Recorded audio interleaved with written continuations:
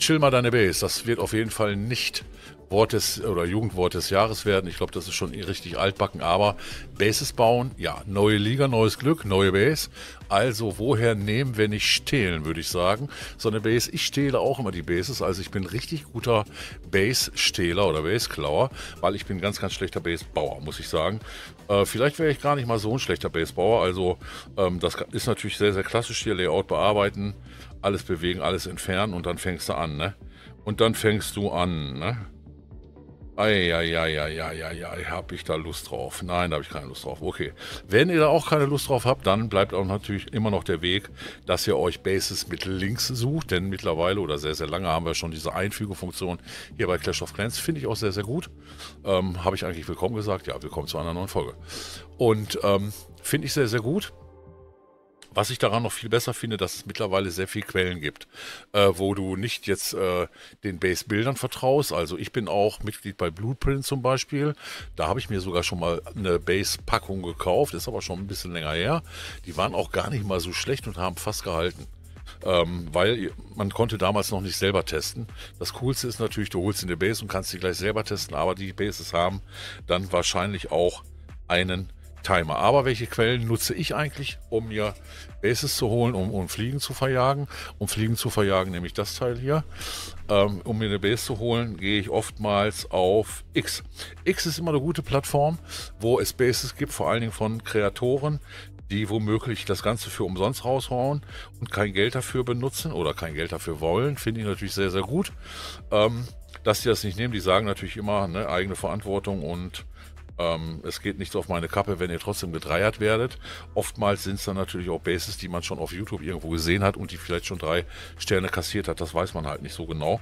Man muss denen schon ein bisschen vertrauen. Und was ihr auf jeden Fall machen solltet, wenn ihr eine Base habt und seht, Mensch, drei Single-Infernos sind vielleicht doch nicht so krank, dann lieber zwei Multi und ein Single, je nachdem wie die angeordnet sind. Also äh, gerade das, was man verstellen kann, damit die Base nicht nochmal einen Timer bekommt, äh, kann man natürlich umstellen. Also Bomben fallen, Luftbomben, Luftfallen und so weiter. Und das finde ich sehr, sehr gut. Selbst bei Telegram gibt es schon äh, die ein oder andere Base. Use at your own risk, ja, ist klar, ne, eigenes Risiko, aber ist es, sie ist gebaut von jemand anders. Und wenn ihr so eine Base nehmt, ähm, ich suche eigentlich eine Ratos 15 Base, ich kopiere mir jetzt mal keine, denn ich zeige euch jetzt, äh, weil ich tatsächlich für mein Ratos 15 eine tolle Base suche, wie ich natürlich noch andere Quellen nutze, also dazu gehört natürlich nicht nur X, dazu gehört dann auch, glaube ich, Instagram, bei TikTok kann ich nicht gucken, ich habe nichts TikTok, muss ich sagen, also TikToker äh, das liegt mir ganz, ganz weit fern, mich da noch auch noch im Hirn Matsche machen zu lassen. Ich bin schon reichlich Matsche im Hirn, da brauche ich nicht nur TikTok. Und ähm, deswegen nutze ich meistens diese, diese, diese, nur diese beiden Quellen, nämlich X und es gibt immer witzige Sachen hier. Und nicht zu vergessen, YouTube. YouTube ist immer eine sehr, sehr gute Quelle dafür, um äh, Townhalls oder Rathäuser zu finden. Das heißt also mit der Suchenfunktion, ich bin ja jetzt am Tablet, ihr seht, was ich hier mal suche. Ich finde es übrigens beeindruckend, dass der, dass der erste hier bei mir in der, in der Suchreihenfolge, finde ich sehr gut. Also, wenn Itzo und ich keine Videos bringen, dann verlieren wir Abonnenten. Bei ihm ist das anders. Er macht das genau andersrum. Er macht keine Videos und gewinnt Abonnenten. Ich finde es beeindruckend. Ich frage irgendwann mal an bei ihm, wie er das macht. Was sein Erfolgserlebnis Geheimnis ist. Ähm, ich suche dann immer ähm, Town Hall. Das findet man eher. Town Hall 13, ihr seht, jetzt, jetzt kommen schon so ein paar Sachen, weil ich wahrscheinlich schon mal gesucht habe.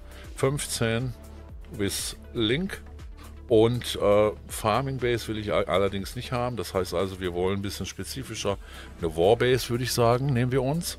Und dann gucke ich natürlich, was ist hier cool, was ist hier was ist hier fresh? Ja, wir schreiben jetzt den 31.07.2024 um 21.56 Uhr. Vor acht Stunden kam da oben Best Town Hall 15 Base with Link 2024. Okay, 2024 ist dann auch schon sieben Monate alt, geht in achten Monat rein. Also könnte na, ist schwierig und ich kenne die natürlich auch alle nicht, ne? Aber es ist natürlich schnell gemacht, mal eben schnell noch eine Base zu suchen. Also, äh, wenn, ich, wenn ich mir jetzt vorstelle, ähm, dass, ähm, dass wir äh, jetzt gleich zwei, in zwei Stunden geht die Liga los und meine Basis kacke, dann gehe ich natürlich hier mal rein. Ähm, vielleicht, vielleicht eine, die noch, die noch nicht ganz so fresh ist. Ähm, Anti-2-Stern. Ja, man könnte jetzt noch ein bisschen spezieller suchen. Anti-3-Stern, Root-Rider oder was auch immer. Ja, oder, oder, oder Blimp. Wir, wir, nehmen mal ihn hier. Wir nehmen mal ihn hier. Also den Clash and Gaming. Ähm, und jetzt muss ich selber mal gucken. Ich glaube, unter mehr bekommen wir hier die Baselinks. Und unter mehr kriegen wir jetzt die ganzen Baselinks hier. Legend Base, Warbase, Starbase, Whistling, Force Starbase. Okay, wir brauchen eine Anti-2 Starbase oder wir brauchen eine Legend-Base, eigentlich nicht eine CWL-Base-Link. Äh, ich nehme mal den zweiten. Ich nehme mal den zweiten Link, der öffnet sich dann nicht in einem Browser des Vertrauens. Okay, ach, da, da hat er das verhashtagt. Warte, warte, warte, das ist doof. Das ist, ich habe jetzt eigentlich Links erwartet, Leute. Ich habe eigentlich jetzt Links erwartet. Ah, hier sind die Baselinks. Okay. Sorry, Leute, hier sind die Baselinks. Also, den Baselink öffnet ihr dann mit einem Browser eures Vertrauens. Ich nehme immer den Safari hier. Und äh, mit Open Clash of Clans kommt ihr hier ins Spiel rein. Falls ihr nicht gerade disconnect seid, müsst ihr das Ganze nochmal wiederholen. Weiß auch nicht, warum Clash of Clans im Hintergrund disconnected. Aber egal. Ja, wir nehmen das als Kriegsbasis, weil meine Kriegsbasis ist echt nicht gut. Sie hat mal gut gehalten, aber ich glaube, die hier war immer am schlechtesten. Und wenn man sich das natürlich jetzt anschaut, dann Boah, krasses Teil, okay. Aber ist auch ein bisschen bekannt, ne? Bekannt auch, wie man sie machen kann. Beziehungsweise das Rathaus steht natürlich jetzt nicht ganz in der Mitte, aber die Mitte ist gut verteidigt, würde ich sagen. Und ähm, ob die jetzt gut oder schlecht ist, jetzt kann man natürlich nochmal prüfen. Steht der Monolith auf Boden, Luft? Äh, steht der Adler auf Boden, Luft und so weiter? Und äh, wie stehen die X-Bögen eigentlich? Die stelle ich eigentlich immer ganz gerne auf, auf nicht nur Boden. Also bin ich ganz ehrlich, weil die Range geht außerhalb der der Dings eigentlich rein. Das ist mir ein bisschen weit.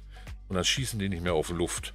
Das mag ich nicht so gerne. Deswegen würde ich die ganz gerne an der Stelle umstellen. Ähm, wir haben hier einen Giftturm. Ich glaube, der ist in Ordnung. Und einen Wutturm. Der ist auch in Ordnung, weil warum soll ich jetzt die Clanburg unsichtbar machen? Macht da vielleicht keinen Sinn. Dann lieber mal ein bisschen mehr Feuer in der Base. Wir haben zwei Scattershot in der Mitte. Das sieht ganz gut aus. Wir haben auch irgendwo Inferno-Türme. Haben wir eigentlich Inferno-Turm? Ah ja, die haben wir hier auch drin. Einen zumindest sehe ich. Alter, die Base ist ja so vollgepackt, ne? Voller, voller Sachen. Nicht, dass man da meine Inferno-Türme irgendwie rutschen kann. Also mit dem Kampfholz. Kann man aber, glaube ich, nicht. Äh, ich finde nur zwei Inferno-Türme. Ich hatte die nicht gesetzt, doch, ne? Okay, das ist nur Schmuck am Nachttempier. Das, das setze ich sowieso nicht. Ich, ich, erkenne jetzt tatsächlich in diesem Wust hier nicht, wo die... Ach doch, da ist noch einer und hier hinten ist noch einer. Ja, okay. Dreimal Multi. Ah, die können wir nehmen. Komm Leute, die nehmen wir mal. Jetzt, das Doofe ist, ich kann sie natürlich aktivieren. Jetzt mal in, im laufenden CK, der geht nämlich in ein paar Minuten los. Dann kann sie schon genutzt werden. Ja, das müsste jetzt schon meine neue sein, jawohl. Und dann kann man sie wenigstens einmal testen, weil zum selber testen geht sie leider noch nicht. Ja, herausfordern, Layout ändern und aktive Clanbase geht im Moment nicht. Die geht leider erst in einen Tag. Na, ein bisschen doof. Also müssen wir einen Tag warten. Ähm, man hätte sich das auch vielleicht mit Gems freikaufen können. Aber das sind so die Möglichkeiten, die ich eigentlich ganz gerne nutze. Ähm, kann, gucke dann natürlich auch mal einen Angriff auf mich an, um mal zu analysieren, klappt da was, klappt da was nicht. Ähm, Habe ich eine Anti-Root ähm, äh, Rider Base, also die beiden hier vor mir hatten jetzt keine Anti-Root Rider Bases. Ähm, weder der vor sieben Stunden noch der vor einer Stunde, also hier jetzt live im Stream, aber ist auch eigentlich Latte. Denn ähm, das Ganze muss dann eher, eher so ein bisschen wachsen, aber auch dieses Base-Building-Geschäft äh, hier, muss ich sagen, ist sehr, sehr kurzlebig. Ich kriege, ich bin in etlichen Discords, bekomme auch einen ganzen Haufen Nachrichten über neue Angebote, über Anti-2-Cloud-Spaces und so weiter. Und ähm, dann tummelt sich auch noch so ein Itzu unter den Base-Bildern auch nicht schlecht. Ja, aber alles, was Itzu baut, wird eh ganz, ganz schnell gedreiert, weil sich natürlich alle auf diese Base stürzen. Oder aber jemand hatte eben im Chat gesagt, äh, du nimmst die Base aber nur zum Üben, weil alle anderen sie haben. So kann man es natürlich auch machen, aber trotzdem, ich tue mich da immer sehr, sehr schwer, meine Bases vor allen Dingen zu wechseln. Wenn sie denn halten, brauche ich sie nicht wechseln. Wenn sie denn soeben halten, dann kann man natürlich mal was modifizieren. Wo war die Schwachstelle? Ja, können die noch mit einer Blimp landen?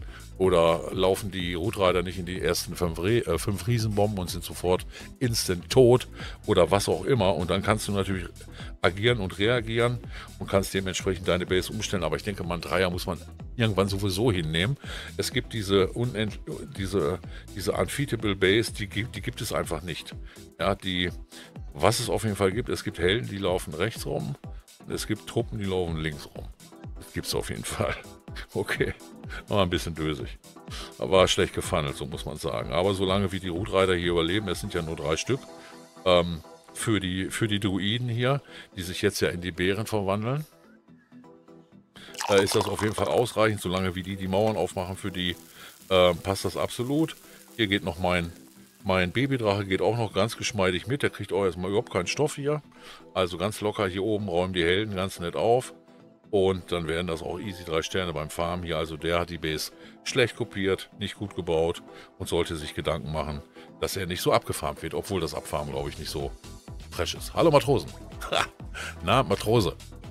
Leichtmatrose. Leichtmatrose Sparkling meldet sich an Bord. Oder heißt das an Deck? An Deck, ne? Und Sparkling hat natürlich auch Werbung in eigener Sache wieder Erfrischendes dabei. Keine Frage. Ist sehr lecker, ich habe es noch nie getrunken. Aber egal. Ich wollte nur mal darauf hinweisen, wie ich auf jeden Fall die Bases baue. Wir haben jetzt noch nicht Liga, Leute. Morgen fängt die Liga an. Wir spielen 15er bei den Herausforderern. Ich brauche keinen mehr. Ich glaube, wir sind genug. Glaube ich. Weiß es noch gar nicht. Ich zähle gleich mal durch. Ich lasse gleich mal durchzählen. Und ähm, dann äh, eine 15er bei Free-to-Play und eine schöne, geschmeidige 30er bei Totos Bande. Es wird eine ganz, ganz tolle, witzige Woche, vor allen Dingen bei dieser Hitze. Äh, wird das sicherlich richtig schick. Und wenn ich jetzt die Fliege nicht kriege, dann kriege ich sie den ganzen Abend nicht. Aber ich habe sie eben schon spindelig geschlagen. Nichts verraten, oder?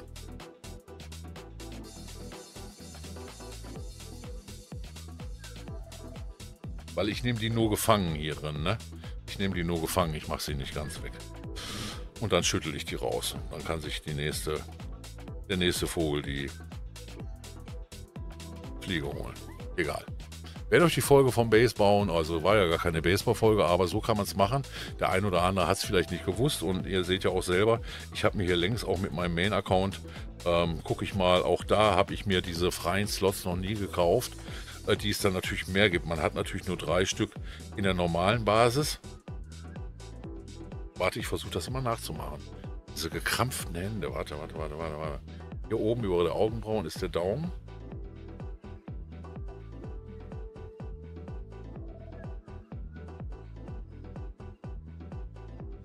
Das wird jetzt mein Thumbnail.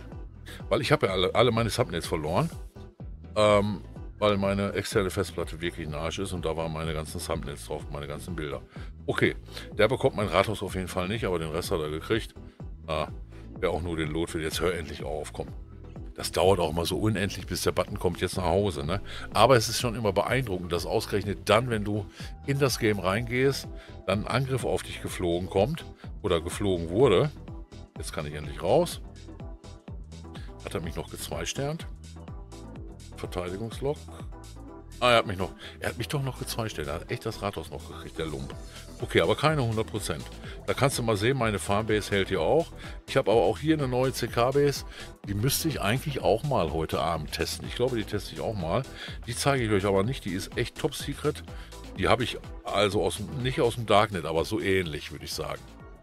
Äh, ich gehe jetzt nochmal ins Ende. Wenn euch die Folge ganz gut gefallen hat, dann lasst mal einfach einen Daumen nach oben da. Abonnieren nicht vergessen, am Kanal dranbleiben und natürlich auch die Livestreams https www.twitch.tv Toto Clash und dann könnt ihr ganz, ganz umsonst bei mir ein bisschen mit live reinschauen. Ich würde mich freuen, wenn wir uns sehen. Bis dahin, ciao, ciao, euer Toto. Clashed.